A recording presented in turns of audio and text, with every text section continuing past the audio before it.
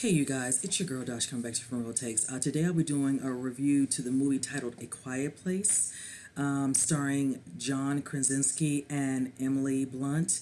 Uh, first and foremost, before I get into this, I just want to say how much I really enjoyed this movie.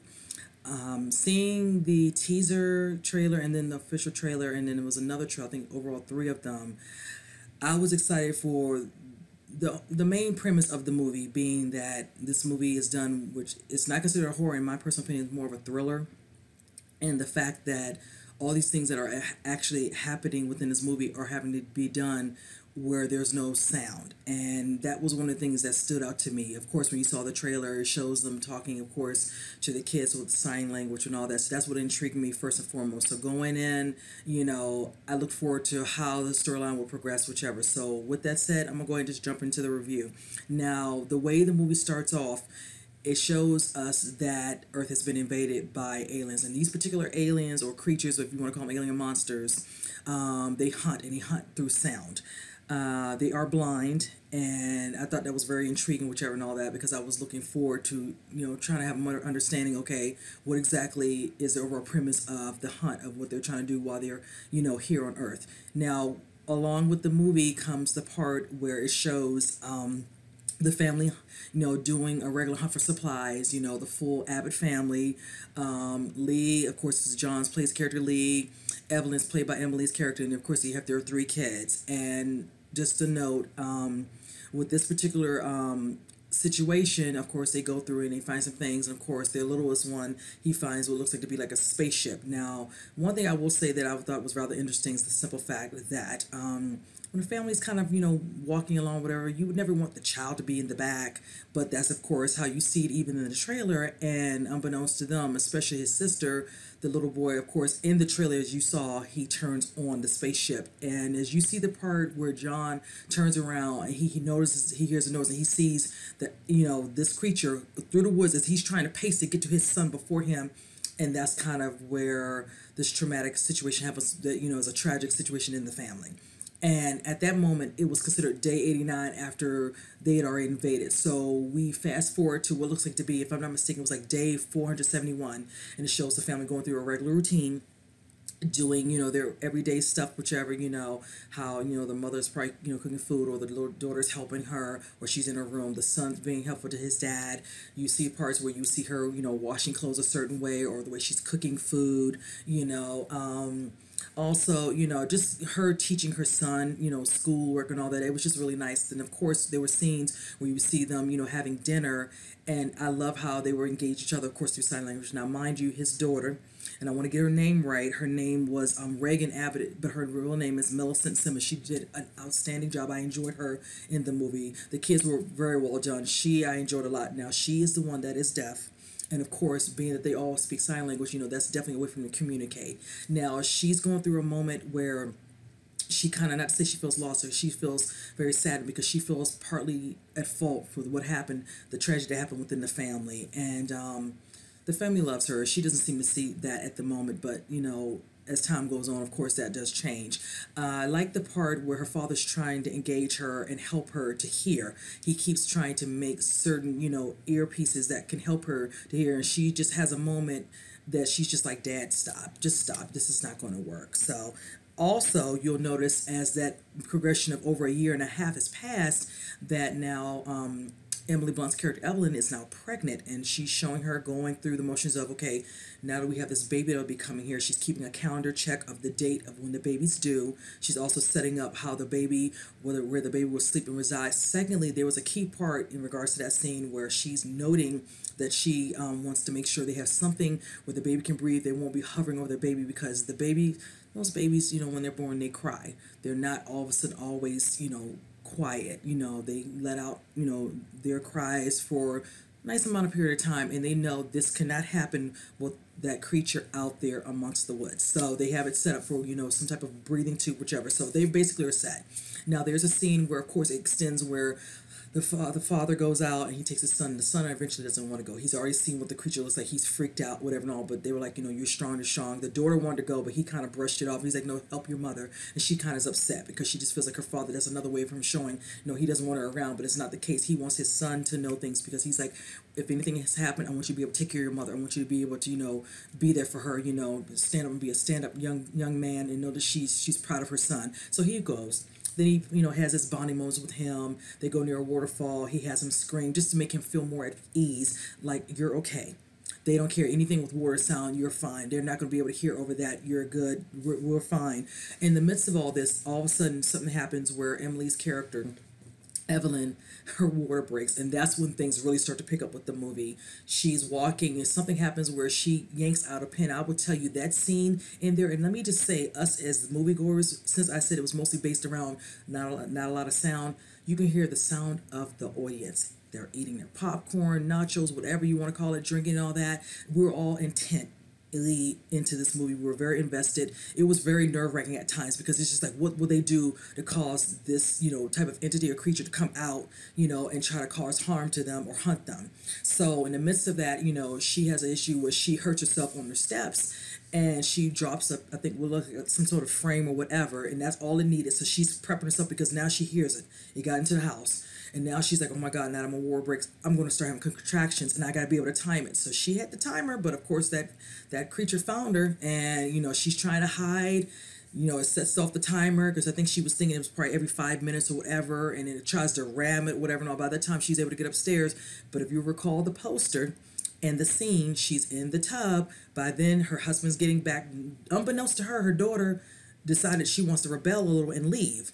So it shows them coming back, whatever, and all that. And of course, they set the lights up. So when the lights turn red with the, all the lights outside the house, that's to mean there's some trouble. So that's when the father and the son had to take charge, and the father made his son like help your mother. Your mother needs you, and he stepped to the plate because the boy was scared, and who can blame him? And that's when you know we have this scene where you know the creature's trying to crawl up and she's trying not to be loud whichever but her son sets off some firecrackers. And let's just say that it was at the right time because as soon as that part happened it left and she was able to belt out the high, highest scream she could of being in you know discomfort pain. And you know of course you know the husband you know comes up and he shows and he has a shotgun he shows up and it shows him, you know, coming here to try to see if she's okay, whichever, and all that. She's fine. She's had the baby, but then they realize they need to get downstairs, whatever. The son is hiding, and he's like, okay, I'm gonna stay hidden. You know, my father will find me. So he tries to hide her, and I love that they planned it enough that once this baby was born, they would have to find another secret hideout because they can't be out and open in the house. So they have an underground little area, you know, like a cell room of sorts underneath where they can hide it, even with the matches, where they can't give off because the baby eventually, like I stated, starts to cry. And he has her settled, puts the mask, she's breathing. It's a boy, excuse me, you guys. And just from there, it was just a really good scene where they're kind of bonding. She's like, Where are the kids? He's like, They're going to be. Let me find them. But see, by then, she's not realizing her daughter might have ran off with her. She's thinking she's somewhere hiding, whatever, and all that. And um, they end up seeing each other, the, the, son and the daughter. I like the little tag team they did when they got into a situation because there's a key situation that happens with the daughter that sets the tone for a way they can finally get out of the situation they are with this particular uh, creature. And I love that it has to do with her her, her hearing piece, which was very, um, which was actually cool. I actually like that because some some scenes were happening in this movie and trust me we thought that she was down for the count but a certain you know moment happened with her earpiece and it triggered something with the, the creature which he ran off and then it happened again so from there you know the father gets to the children and things also start to happen where he's trying the creature's trying to get to the kids and he just realized he has to save his kids and let's just say it was such a sad part but um it needed to be done. He knew once he did this, it would give the chance the kids a chance to get away and get to their mother. And um, I can tell you, it was so sad. You could just hear the people in the audience. It was just so sad. But they got to their mother. The mother went downstairs and she let them come in.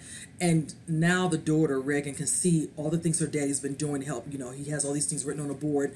You know, what I can do to help this, you know, with my daughter. I have all these hearing pieces out to help her. And she didn't realize at the time, but her father loved her. He had made that clear prior to the incident that happens with him, which you know brings the death of him, and I love how he spoke to her let her know I love you. I want you to always know I love you. You know, for her to not simply think that her father blames her in any way. That was not her fault.